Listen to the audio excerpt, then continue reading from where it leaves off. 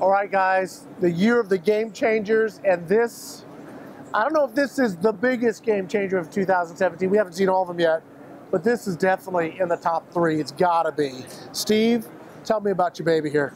All right, Rick, thanks for asking. This is the new Umarex Hammer, and this is the world's most powerful production air gun. It develops energy in excess of 700 foot-pounds. Now, Matter fact, just we have you- hold, hold on, 750. hold, hold on. hold on.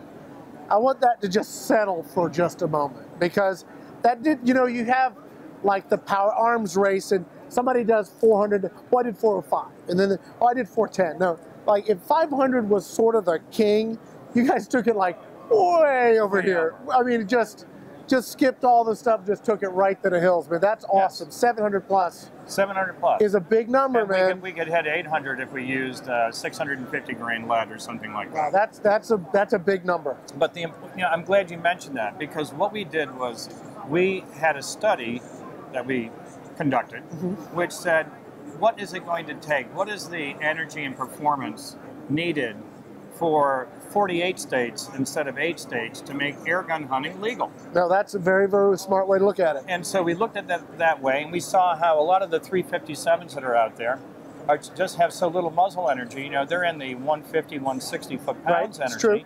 And the state DNRs, they have three times that on their hip with a nine millimeter Right. that they don't want to use for a deer gun. Right. So we studied this, and and, and then we, we came up with that metric, which was we need to hit at least 700.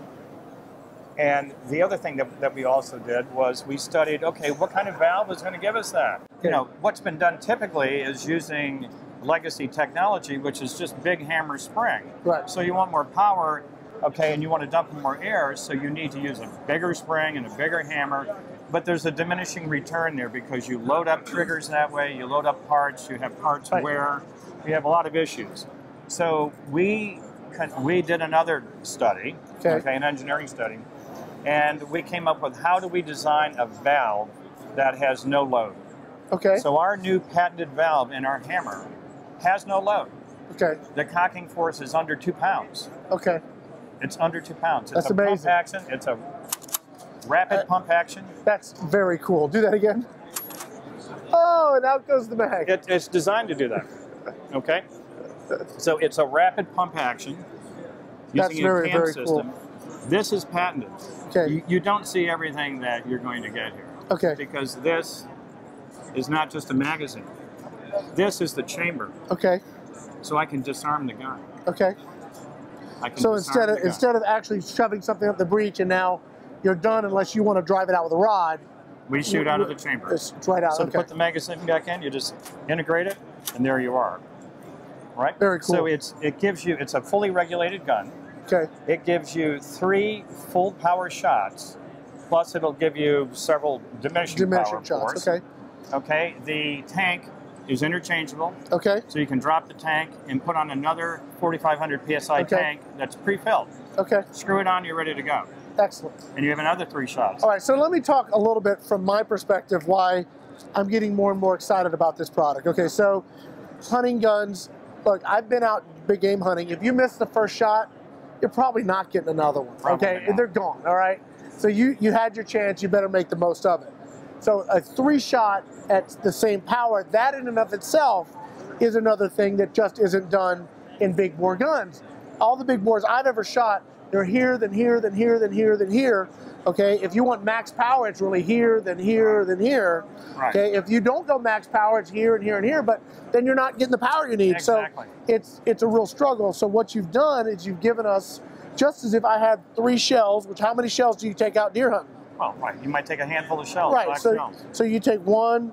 Two, if you're shooting powder, you got three, four, five identical shots. Here you got basically muzzle loader power, have muzzle loader power. muzzle loader energy without the without the powder, without the mess, without the hold it till it fires. I mean, just all the kind of things that you would want in a gun without the fuss. We are shooting bullets Yeah. in excess of 1,350 feet per second. Right. Okay. In excess of 1,300 feet per second. So this gun was designed not just to shoot heavy lead. We shoot 550 grain lead at over 850. Wow. We shoot 250 grain lead bullets, standard lead bullets from Montana's Waging, say, Okay. or whoever, uh, coated or uncoated. We shoot those bullets at 1050. Wow. Now, we developed a whole new series of ammunition to use for big game hunting with air guns. And the Okay. reason we did that is because even though we're shooting three, uh, 1350, we're still not shooting 3,000 feet per second. right. So air gun hunters, they need ammo that's more lethal at closer distances because we're not trying to kill something at 500 yards. Right. So what you've done is you've developed the platform, but then you've also developed all this supplemental stuff that just enhances the lethality at, at whatever range we need. So say up to 50, 100 yards. Exactly. Okay. Exactly. So the other thing is that we developed the gun to be the same weight as a standard uh, bolt action centerfire rifle. Right. It's actually this pretty gun- light. So this gun in production is eight pounds Okay. and 42 inches long. So if I'm going to buy a new rifle, Right. and I'm a deer hunter, okay, I'm a, I'm a coyote hunter, I'm a deer hunter, predators. If I'm going to buy a new rifle for $600, say, I want to be able to do more than just shoot deer with it. Yep. I want to be able to load it up with 550 grains and shoot a buffalo in Montana, or I want to be able to load it down and shoot saboted 300, 357 caliber bullets out of it. Yeah. And I'll show you how we do that. We partnered with a company called Polycase Ammunition, which Okay. makes a copper matrix injection molded ammo Okay. that has Venturi cuts in the face of it. Have a look at that. So what these Venturi cuts do is they act as accelerators. So upon Okay. impact in um, flash, Yeah. okay, it ex- they accelerate rapidly and create A, a huge wound cavity. Huge wound cavity. So you probably, when it hits, it like does that number? Is that sort of yes, what it does? exactly. Okay. So this is a 200 grain speed belt bullet, Okay. which we sell to which, which we'll sell for black powder. Right. So these are black powder bullets that are going into an air gun. Okay. and they give devastating lethality at distances up to 150 yards, Wow. right? In addition, I want to be able to shoot coyotes. Right. So what we've done is we've created a series of sabots. They're 50 caliber sabots Okay. that use 45 caliber, 40 caliber, and 357 caliber ARX bullets. Okay. So now if I want to shoot a coyote at 200 yards, Yeah. I'm coming out of the barrel at over 1350, and I have the energy I need to, you know, legitimately Not only yeah, not only hit them, but just kill them. obliterate them. Just Right. dead is dead. That is dead. That is. We guaranteed 50% more dead. I like it. I like it. I, you know, I'm getting into the big bore hunting thing. I've done a ton of small game, Yeah, but you know, the more I get into the big bore, you know, you just don't know what's going to happen till you actually shoot it. exactly. You can shoot paper all you want, you can shoot ballistic gel all you want, but until you actually shoot the game and then you do the autopsy, which is what we've done, Yes. we actually take the game apart, mm-hmm. we find the slug, we look at the damage, we look at where we hit it, what did we hit it right, what happened when we hit it right. If you Exactly. if you hit a, a pig like we were shooting, we want to go through the Yes. shield, hit the vitals, Yes. you want to drop them, and we've had great success, and we've had, huh, that didn't work like we thought Yeah, because you know, hey, we hit it with this big, massive gun, and it we expected boom dead, and it didn't because it didn't Right. have the punch or it didn't, didn't have the punch. and whatever it was. But something like this, I mean, these are proven rounds, Th- These are proven rounds, and what these do is it's a time issue. right? How much of the energy can you dump instantly? Right. If you can instantly dump the energy, you have more shock, you have more lethality. If you don't dump the energy, you dump half the energy in the animal and the other half when it hits the tree on the other side of the animal, you Yeah. haven't done the job. You Yeah. need to dump it all So instantly. look, this is something I haven't actually had the time to talk about, but it's something that I've Don't you agree with that? I, I- and I'm just getting to that point because, well, you know, on air gunner we did the test where we're shooting through ballistics gel, Yes. and at 30 yards and even at 50 yards, we saw the bullets or the pellets go clear through an 18-inch block of gel. Right. That tells me it's not dumping the energy. It's not dumping You got energy going out the other. It's wasted Right. energy, wasted Right. power. Right. So every time you get a pass through, I don't care if you have a 75, 85, 100, 500 foot pound gun. Yes. If it's going out the other side, guess what? Doesn't work. Right. And we, we saw this, so you guys haven't seen the footage, but we saw this in Texas. We had a 30 cal that's pushing 95, 96 foot pounds of energy shooting jackrabbits. Yes. We saw more jackrabbits get hit and jump away with Right. that gun Right. than we did our 30 cal break barrel. Yeah. Why? Because it didn't impart any energy. It's like the 9 mil versus a 45 ACP. Do you recall the old Winchester silver tips? They No, actually had a silver tip bullet. It was almost like it was uh, it had a pewter tip, Okay? right? that bullet would never exit. I have a 257 Roberts. I've shot those bullets for years. I, I actually buy them online now because they're no longer made. But I love those bullets because they would blow up Okay. inside the animal, and the animal would just stop.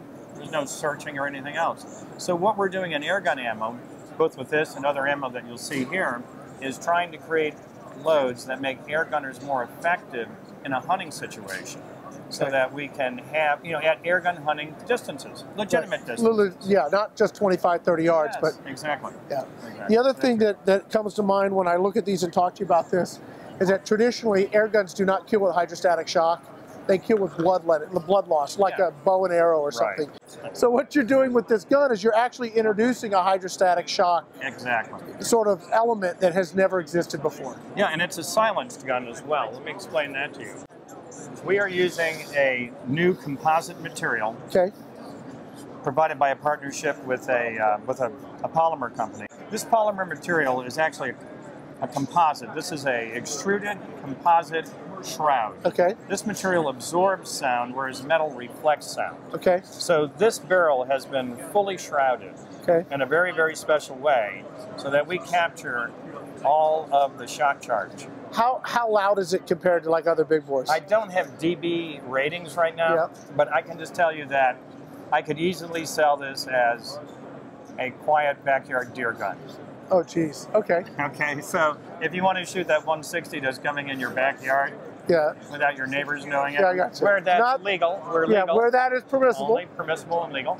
Uh, you could do so, That's and awesome. it wouldn't disrupt their breakfast. It's a beautiful gun. Thank you. Beautiful gun. Thank you, Rick. Now let's Well, we take. appreciate your comments. We'd love to have you uh, test it. Come to Fort Smith, and join us Yep. in uh, measuring the effectivity. Uh, bring your favorite loads in too. Yep. Another thing to mention is that the barrel is not a typical 50 caliber barrel. Okay. Okay. As you know, there's a lot of discussion going on about if you use a barrel that can be taken off and used on a rifle, it may have an, an ATF issue. Really? Okay. I didn't know that. This barrel will never have an ATF issue. Okay. This barrel also is a 50 BMG barrel, Okay. so it is not the classic uh, 50 caliber, which is much less than half an inch. Right. So what some air gun companies have done is used undersized Yeah. bores so that four they, or something like that. so they get around, you know, the ATF thing. But Right. we have no issue with this. We use the maximum bore, and uh, that's, that's one of the that's very cool. power. Well, show me. You've got some other ammo. I want to wrap up with that that last bit of ammo, and then Yeah. we'll uh, we'll call it a day here. Okay. All right. So you've already addressed the the big bore lethality, Yes, right? So we've got that solved. You've got the rifle. Big bore guys are going to be super happy. What are you doing for small bore? Well, one of the things we did was we took a look at the spring piston and gas piston guns that are out there, the break barrels, and of mm-hmm. course we have the Walther line, we have the Umarex Octane, and so forth, which which is a Magnum.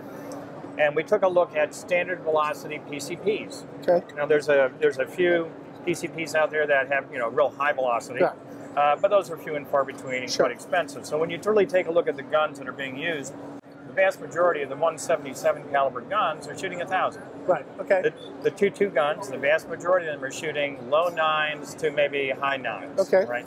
So we studied that market and we said, what can we do to make an, a, a pellet that is accurate, okay, Okay. but has enhanced lethality? Okay. We teamed up with a high tech maker out of Georgia. Okay. And I met this guy. He's super high energy, He's super high. passionate about Right, this stuff, right. big time. and they made 12 gauge shotgun slugs. And we challenged them to develop this and worked with them extensively to develop a expander. And the only way I, that I can describe this is that it is a broadhead for air guns. You know, that's An actually a good way to a good way to describe. it. I wouldn't have thought of that, but that's a good way to look at it. It expands 100% of the original diameter Okay. and has six cutting surfaces. Wow. So what it does is it once again, it dumps all of its energy instantaneously in the animal. And you see here with our clear gel, Right. you know, we, we have we have tuned this ammo depending on the caliber to go a different depth. 25 caliber, you want a little deeper. Right. 22 a little less. 17 a little less than that. Okay. Right. So this ammunition is is tuned to expand for the velocity of the round. Say it's 25 or 22 or 17 caliber, and it's tuned to expand for the size of game that you would normally shoot with that. Wow. So I could take the 17 caliber uh, and shoot. Uh, you know, I would feel no qualms shooting a fox or a bobcat. Really? No qualms whatsoever. I would take the 22 caliber, and it ranges to say uh, 25 or 30 yards. I'd shoot. I'd double lung a coyote Really? and okay. follow the blood trail. okay. It's like a broadhead for air guns. That's impressive. It's like a broadhead for. But air that, you know, again, continuing to change the game, Yes. to change how the perception of how things can be done. Yes. You know, if you're, we've shot a lot of ballistics this last year, and the dome pellets are always pass through. Yes. Not always, but Pop it. most of the time they're just pass through. Now we get, we've tested some nice hollow points that kind of stop, Yes. but these we're talking Yeah. two and a half inches, These are three inches. These are slightly lighter than lead, just slightly lighter than lead. Yeah. But the accuracy has been really dialed in. So we Okay. obviously we're not saying go out and do hole punching target shooting with these. This Well, you wouldn't. It's expensive. right? It's what, fifty cents a round. Yes. it's So it's 50 around. cents a round. Now that That's expensive. a little shock on that, but but But truth hunting. is, it's a hunting round. It's a hunting You're not round. plinking with these. Exactly. It's Yeah, a hunting. round. I round. got you. So we're getting, uh, you know, one inch groups at 30 yards with these, which is plenty accurate for For what you uh, want out of a small bore bra- air yeah, gun hunting. absolutely. Yep. If, I'm, got you. if, if, if I could shoot a 25 caliber air gun at 1500 feet per second, I would design that projectile differently. Mhm. The nice thing about this technology that we have is that I can go lighter, and I can go heavier. Okay. So we're also studying heavier, Magnum. So we're gonna see this. You're going to see. see this grow a little bit. You are. Well, guys, man, this has been very, very eye-opening here at the Umarex booth today. Steve, thank, Thank you, you, so Rick. much. I appreciate can tell Rick. you're super passionate about this stuff. When you have somebody that's passionate about it, they dump all that into making some really great products. And I can tell you and both Richard just love this stuff. So, man, thank you for what you're doing. Guys, we got a lot more SHOT Show to show you. For now, my name is Rick Eutsler with Airgun Web TV here at the Umarex booth, SHOT Show 2017. Thanks for watching.